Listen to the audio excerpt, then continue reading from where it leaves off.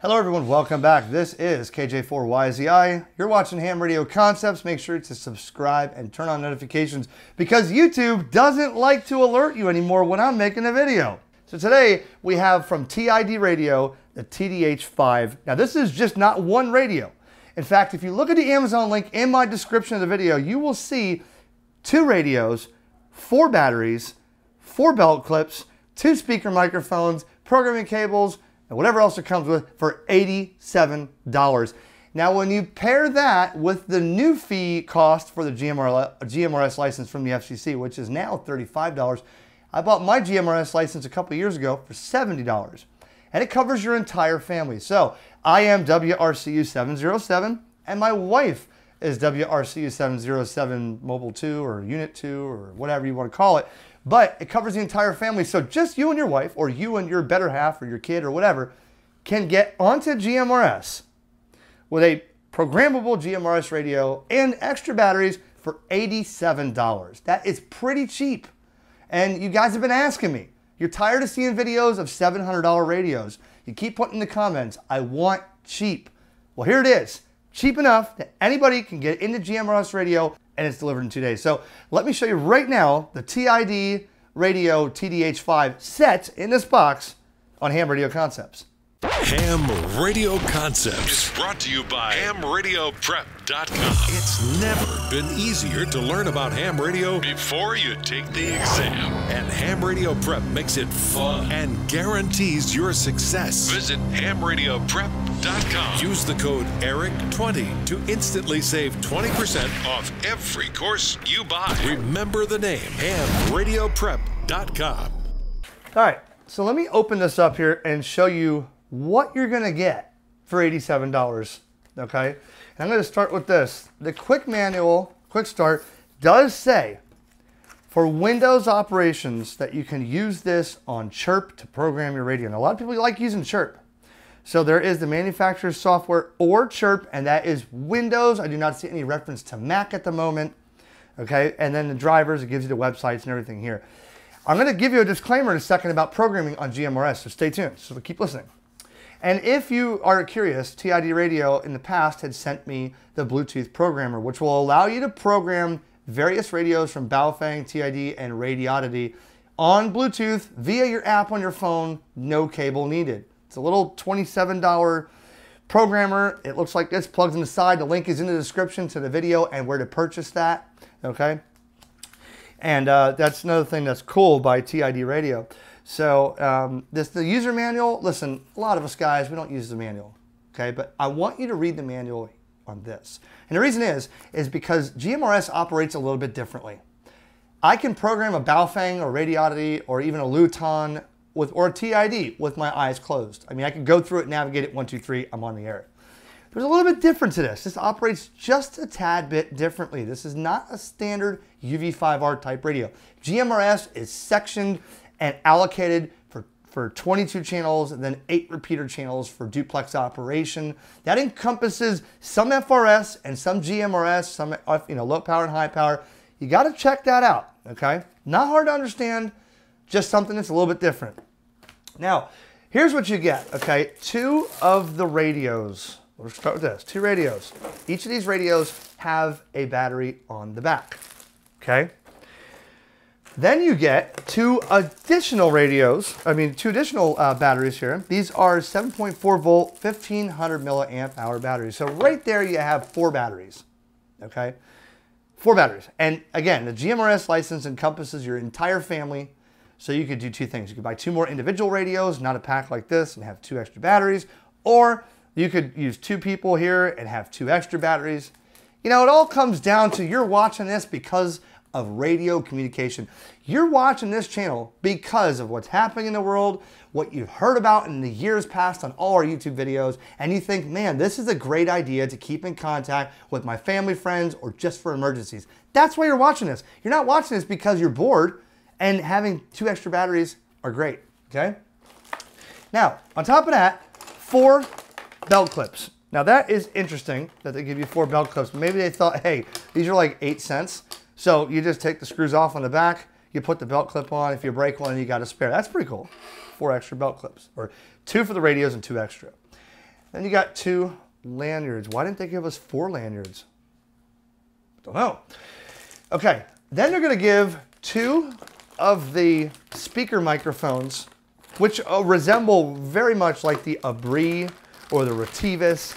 I mean, these are standard, they just put their own names on them. That, to be honest with you. They have the lapel clip on the back. They have the standard Kenwood or Baofeng style two pin, 2.5 millimeter and 3.5 millimeter for the side of the radio. Goes right into here. You open the rubber cap, you put your speaker mic in here, and away you go. Okay, two of those. Now back in the day, when we had Baofengs and other radios, that was the big thing, was to buy a Baofeng, came with the battery, the belt clip, the lanyard. Then you had to buy the programming cable. Then you had to buy the external speaker mic. Then you had to buy an extra charger. If you didn't want to charge it with the drop-in, you had the, well, check this out. They give you two of these cables.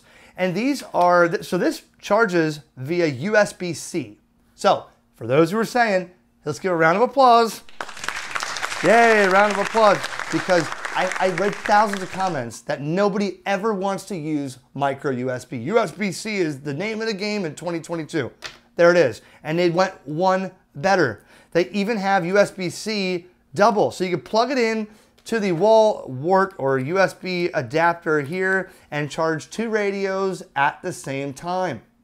Or you could charge one radio and your cell phone. Or you could use the other one, charge two radios, and have this for two cell phones. There you go. Enough said. USB-C, you asked for it. At least TID Radio listened instead of putting micro USB on it. Okay? I, trust me, these all come from comments. You say it, I'm answering right now. Okay? And another one of these here. Now, for $87, I want your comment right now. Do you think that is a good deal? I do. Because I could get, you know, have two. I mean, look, I have other, look at this. I have other GMRS radios. I mean, I have them all over the place. All right. I am WRCU 707. If you ever hear me on the, the East Coast United States on the net or on the Fort Pierce machine, um, that's what I use. But so, so right there, I'm going to show you a couple things to make this video quicker on the operation of this. Now, I have already used one of these on the local repeater and talked with a couple people in Fort Pierce, and they said it sounded great. So the name of the game here, if you're wondering, is not going to be a Chinese radio versus a professional GMRS. I haven't heard anybody, well, I've heard one guy who really did not sound good. I don't know what he was using, but you know, th there's very minimal setup that you have to do with this and very minimal programming. Let me talk about the programming I teased you with a second ago. Guys, this is not ham radio. This is GMRS radio, and I love it. But the fact is, there's only 22 GMRS channels allocated by the FCC. And there are an additional eight duplex channels, which are called repeater channels. They're usually marked RPT. Now, that gives you a combination of 30. The only real thing that's changing with those eight repeater channels is the CTCSS or DCS tone. Now, with that being said, I could turn this on, go to repeater channel 2, which is uh, 462.575 with an offset plus 5 megahertz. That's 467.575. And I can set the tone, which I did, right in the menu of the radio to 141.3. I'm on Fort Pierce. Now there's only three repeaters in my area. I don't think I need to program my radio. I will probably never use this programming cable. What I'm trying to tell you is, back in the day, programming a Baofeng, and even today, is a big deal because there could be tens of thousands of repeaters around you. But I've seen a lot of people making videos on the uh, programming a GMRS made easy. There's just not that much that's required to program it, okay? Now, if now with that being said, you can watch some of my other videos on GMRS and it will show you, you know, the FRS channels that are mixed in with the GMRS. Okay, so some of the channels on here, I think it's 8 through 14, are low power. And those because those are shared with the blister pack radios that you get from Walmart that are made by Midland or Cobra, or whoever. And they're FRS, they're limited to a half a watt with a non-detachable antenna. Now this antenna with a little Allen key can be loosened and unscrewed. And I'm going to test the power with this because I've seen this on another video. I want to make sure that the power output on this is close to what it says, but I'm going to use a brand new 17,000 $88,000 service monitor to give you an accurate output level of this radio.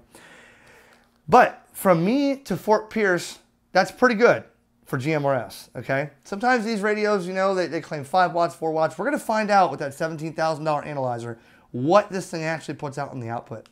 However, enough of my rant. Let me show you some of the things that make a contact real quick on GMRS, and then we'll get into some of the things that you'll need to know to operate one of these, and then the power test, and we'll see what you think. All right, so I'm gonna give a fast test real quick. This is roughly Vero Lake Estates, and the repeater is in St. Lucie County. Now the repeater does pretty good, but I'm gonna show you on this real quick how easy and plain old Jane it is on GMRS. Ready? WRCU 707 testing. See if anybody comes back, okay? This is just straight up handheld, stock antenna. See if anybody's around. It's Mother's Day, you know. I should be in there with my wife. I already treated her for Mother's Day, don't worry.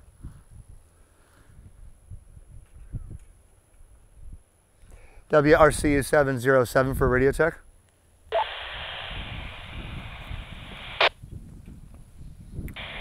Seven zero seven. This is WRBN nine eight five. Your audio's loud, but you got a lot of snow with you. Welcome to the WQEJ 577 repeater. Okay, very good. Just as long as the audio is okay. I know I'm in Vero Lake Estates, so I'm a good 25, 30 miles from the repeater on a handheld. Roger? Roger.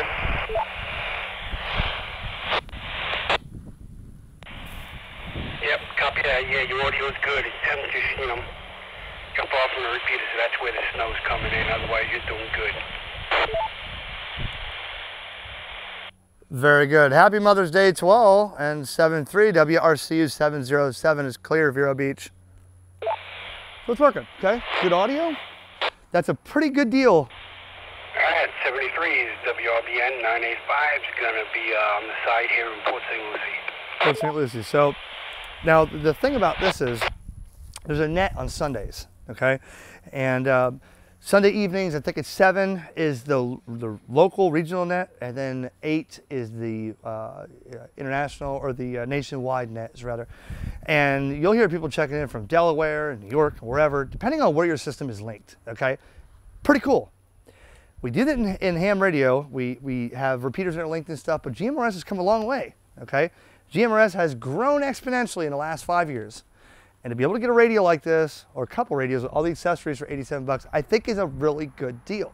I'm gonna also show you one of the radios I have that's in a video that's in my room, still in the box, the Ushan or Oshan KG1000 50 watt mobile. That's a pretty cool radio. For now though, you may not want to invest $400 in a radio. You might just want to go in with a couple like this and a $35 license, and away you go. So, so far, I didn't give you a test between my radio and that radio. I asked a complete stranger on how it sounded 30, probably 30 miles away with a handheld.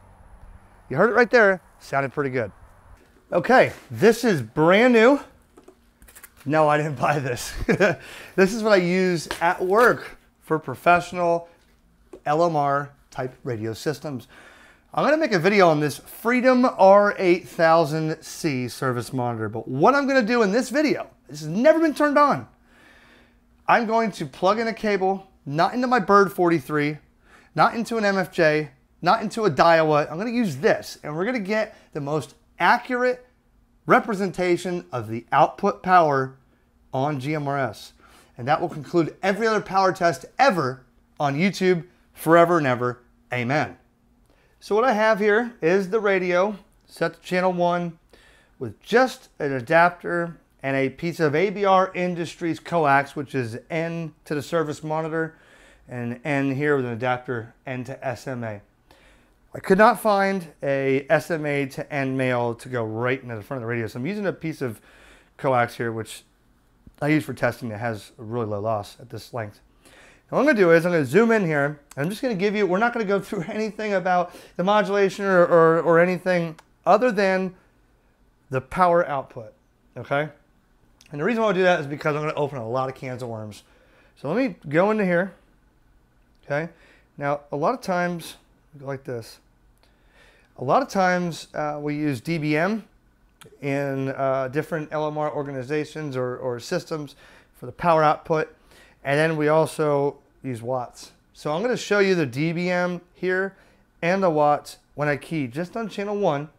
This is claimed to be a 5 watt radio. We're going to see what this actually gives us as I push this button. Are you ready? Let's see if I get this in the, the display here so that you don't think I'm cheating. Here we go. Ready?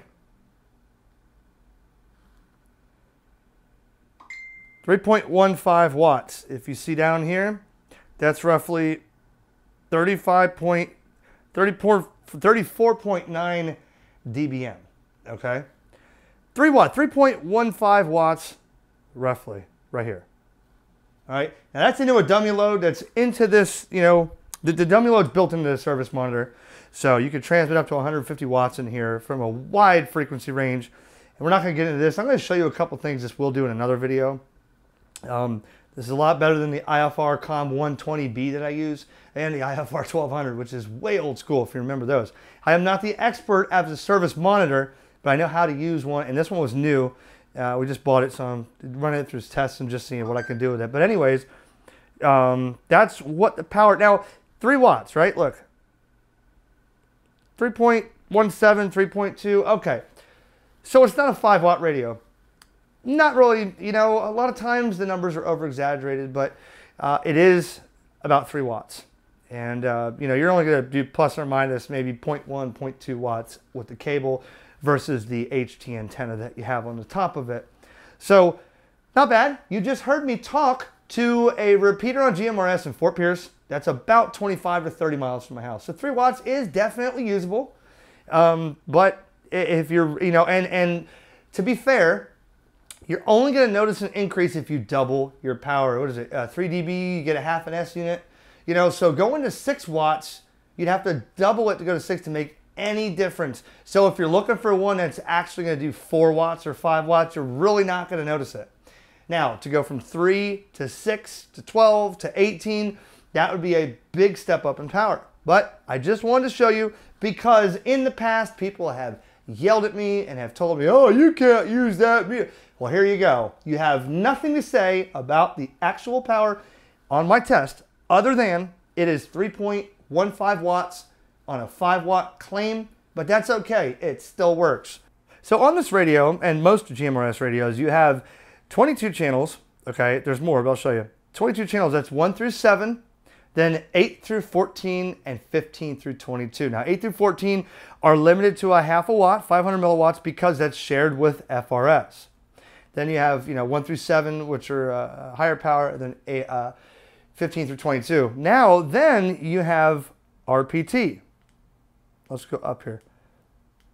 Now, this is the same 15 through 22 channel with an offset. So if you want to use a repeater, again, when I say repeater 2, that is 462.575 with an offset of plus 5 megahertz, so I could use a local repeater, okay? And you can't do that on a normal blister pack Walmart GMRS radio because you can't set the offset.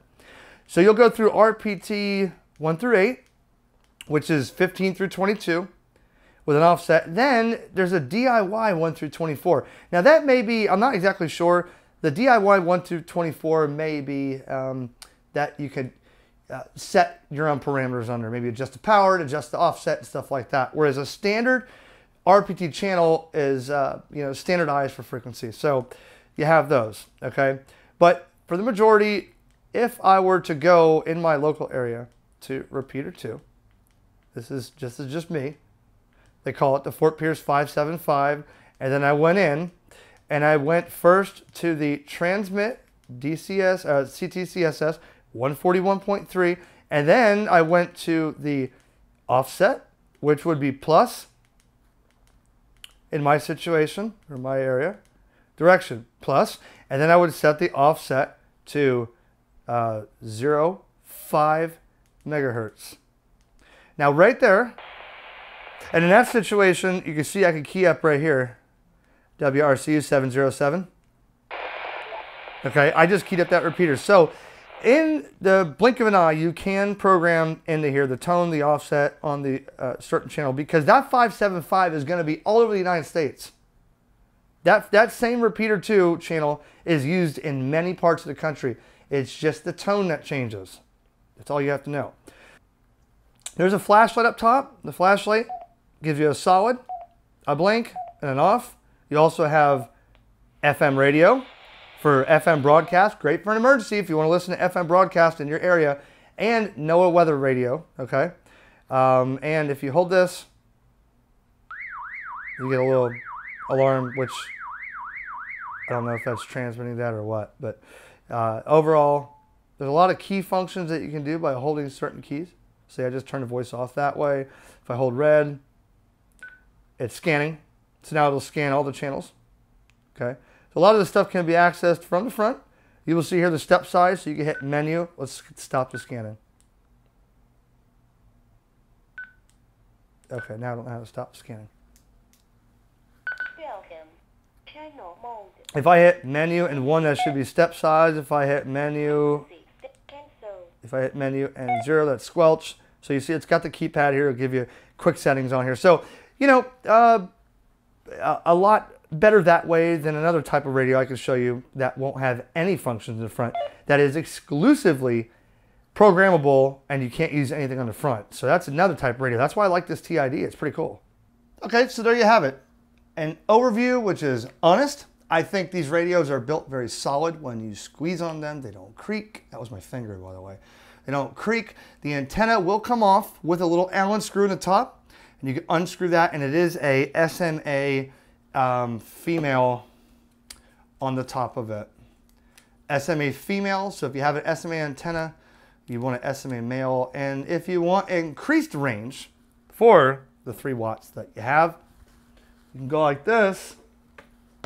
Talking about the Compactenna's Scan 3, something like this with the appropriate adapter. On the top, this does amateur, ham, and GMRS at a very low SWR and 800, 900 megahertz. So the Compactenna, we had him on the podcast, Dr. Jack. You can check out those podcasts and the videos I did. And Compactenna sent me some new stuff for CB and some others. Stay tuned, it's coming. Videos are going to be happening. But something like this on each end through a repeater with two radios, if you had a Compactenna on each end, or whatever GMRS antenna you want.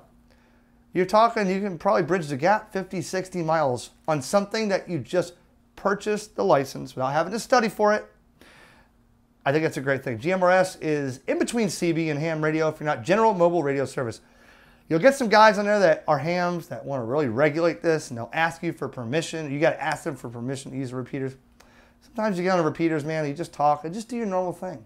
Don't sound like a CB or give your identification, follow some simple rules, and you can be on GMRS.